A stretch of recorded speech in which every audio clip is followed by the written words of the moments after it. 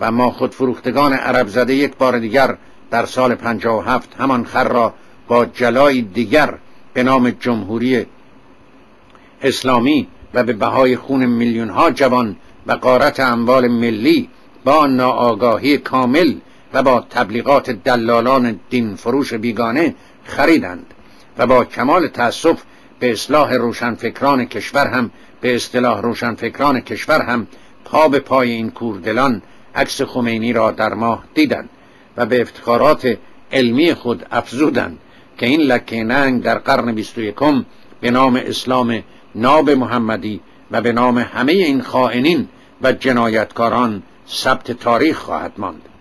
همه ادیان ساخته و پرداخته سودجویان ساخت همه ادیان ساخته و پرداخته سودجویان تاریخ بوده و به مرداب گندیده میمانند که بوی تعفن آنها به بلندای تاریخ مذهب عامل رشد انگلها و جنایتکاران جامعه بودند.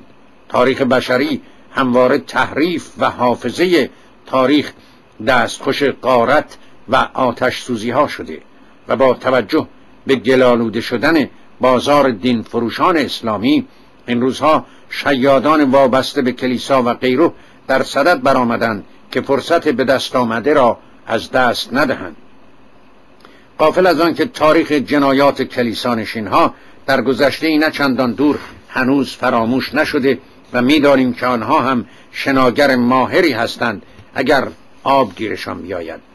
به هر حال بازار دین فروشان کلیسا و غیره در تلویزیون های لس آنجلس رونق گرفته و تلاش مذبوحانه ای در کار است تا جوانان و افراد ساده اندیش را به دام انداخته و یا به قول معروف افرادی را که از چاله ننگین اسلام در آمدند به چاه نکبتبار دیگری بیاندازند فرزندان برومند ایران باید بدانند که پایبند خرافات مذهبی بودن حماقت محض است ولی احمقتر کسی است که مذهب خود را عوض می کند و قلاده ننگین دیگری را به گردن خود می اندازد.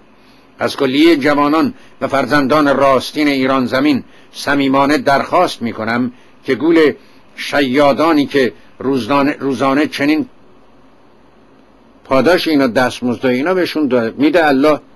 والله لا یحب الظالمین. این الله ستمگران رو یعنی مخالف رو هر چی که اون مخالف بگه بگه آقا گرسنم بگه من مریضم بگه تو رو فقط بگه من تو رو قبول ندارم ظالمه. هر چی می‌خواد بگه. بگه آقا این دنیا باید اصلاح بشه. بگه خورشید خورشیده. بگه ماه ماهه.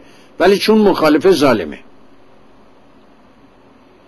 ذالک نتلوه علیک من الآیات و ذکر الحکیم.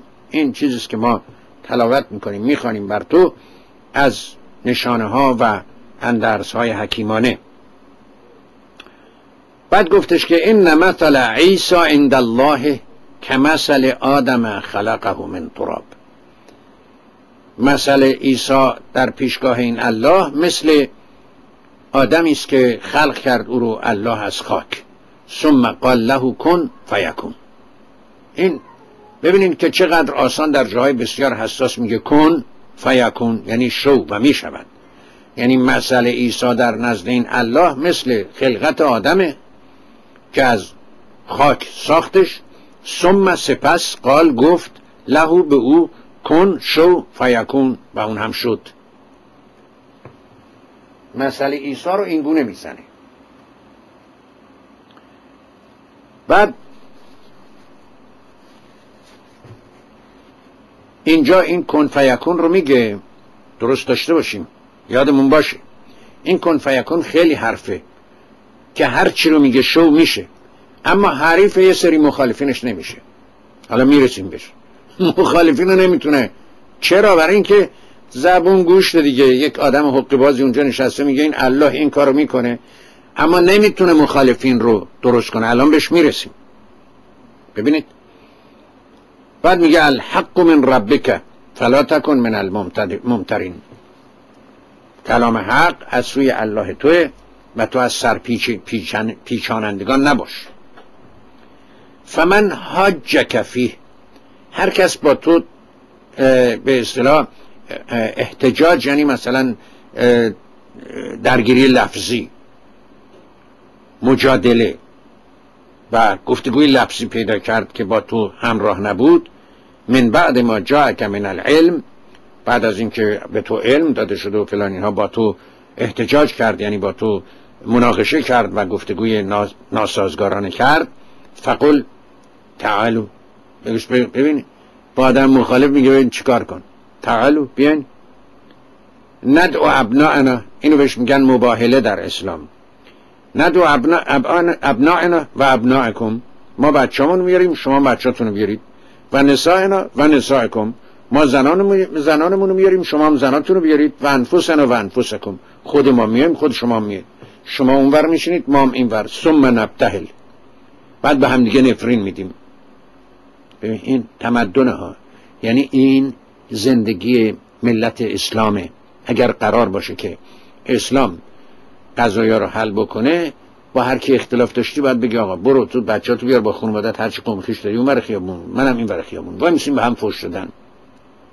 نفرین کردن. هر کدوم حق داشته باشیم الله اون وقت اون یکی گروه رو که ناحق از بین می‌بره. نگاه کنید. این تمدنه. این تمدنه که ما میگیم با مصیبت. اگر این چنین ننگ بیشعورانه خرف معابانه نباشه اون وقت شما می‌بینید که کسی سر می‌بره سر آدم به دست آدم بریده بشه.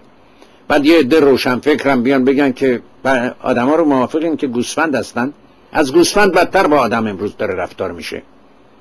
اینجاست که فریاد اون آدم های فهمیده است. بابا چوپان کجاست در برابر این گرگ های اجتماعی از این گوسفند ها دفاع بکنه؟ بعد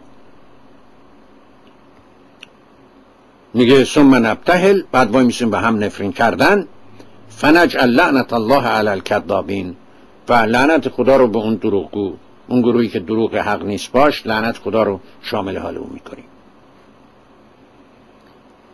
ان هذا لهو القصص الحق.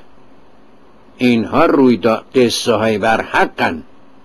این یه چیز کوچولویی هم نیست. قصص الحق اینها.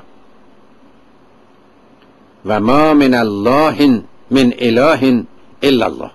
و هیچ الهی به جز این الله وجود نداره. خودش در اینجا دقیقا اعتراف مستقیم مستقیم کرده که این الله هم جز همون اله هاست. یعنی یه سری اله بت هست و ما اله الا الله هیچ الهی به جز الله وجود نداره. هیچ بوتی به جز الله وجود نداره. خودش اینو داره میگه. و ان الله له العزیز الحکیم. ببینید. و ما من اله هیچ الهی وجود نداره الا الله مگر الله. یعنی الله هم جز اون اله هاست. منتها این, این الله الهه اصلیه. این بوت اصلی است. و این الله له و العزیز الحکیم. و این الله اون وقت این همون است که صاحب عزت و حکمت و فلان این حرفا. فان تولوا فان الله علیم بالمفسدین. اون وقت اگر روگردان شدن این الله آگاه از حال فساد کنندگان. حالا چی؟ یارو فرض کن یه آدم اومد تولو کرده. با ولمون کن. تولو یعنی این دیگه. یعنی روگردانی دیگه. ولمون کن بابا. فوری میره جز علیمون بالمفسدین. فساد کنندگان. جزای این چیه؟ همون دست پا بریدن. انما جزاء الذین یحاربون الله ف... الله و رسوله. و چی؟ و یفسد فی الارض. و در زمین فساد برپا می‌کنن. یحاربون الله و رسوله و یفسدون فی الارض و در زمین فساد می‌کنن دست پاشون برید بشه بریده بشه به صلیب فلان اینا. بلا فاصله اگه یکی فقط گفت بابا ولم کن. ان الله له و العزیز الحکیم فان تولوا. تولوا یعنی رو گردان شدن. فان الله علیم بالمفسدین. این الله مفسدا رو می‌شناسه یعنی همون دست و پاشو می‌بره. فقط یارو سر برگردون از طرف الله. قل يا أهل الكتاب تعالوا إلى كلمة سواء بيننا وبينكم. على درجة